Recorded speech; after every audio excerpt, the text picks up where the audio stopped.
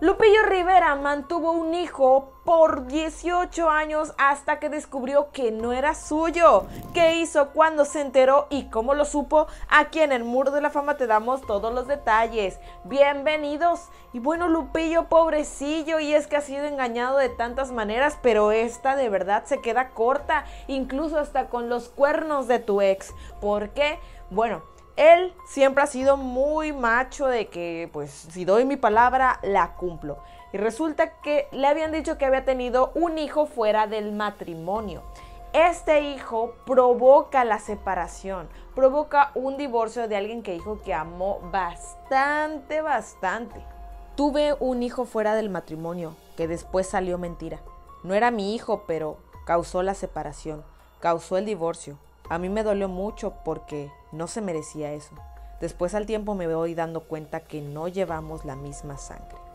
¿Cómo se da cuenta? Pues su mujer resulta que ya estaba embarazada, ahora sí que es su primogénito verdadero, el rey, así le llama, y resulta que le dice, soy muy tradicional y hay que ver quién va a ser el heredero. Haz la prueba a este muchachito a ver si de verdad es tu hijo para confirmar si él es ahora sí que el máximo heredero por ser el primogénito o va a ser el rey, el nuevo bebé. Y entonces Lupillo a los 18 años, digo, perdón, a los 12 años de este muchacho decide, decide hacerle la prueba de ADN, la cual sale negativa, amigos, negativa.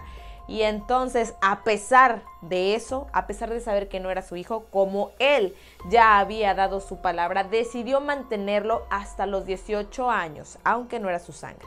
¿Qué tan decepcionante fue esto para él? Pues dice que mm, sí un poco, pero como tenía la motivación y la felicidad de su nuevo primogénito, el rey, ahora sí el verdadero, entonces dice que no le pesó tanto ni le dolió tanto. ¿Quiere a este muchacho al igual que a su hijo y a sus hijas? Definitivamente no. Dice que pues sí, sí lo quiere, sí lo extraña, más obviamente no lo quiere como a sus hijos de sangre. Hasta ahora no sabe mucho de él, mucho menos de la mujer esa que lo engañó y que dice que no le reclamó ya nada, que un compa de él sí le reclamó, él dijo, oye, ¿qué onda? Como, ¿por qué hiciste esto? ¿Qué mala onda? Dice que esta señora lo único que hizo fue colgar, o sea, no, no, no, no tiene vergüenza, en serio, qué, qué, qué poca que haya hecho esto. Y hasta la fecha pues, no han tenido contacto.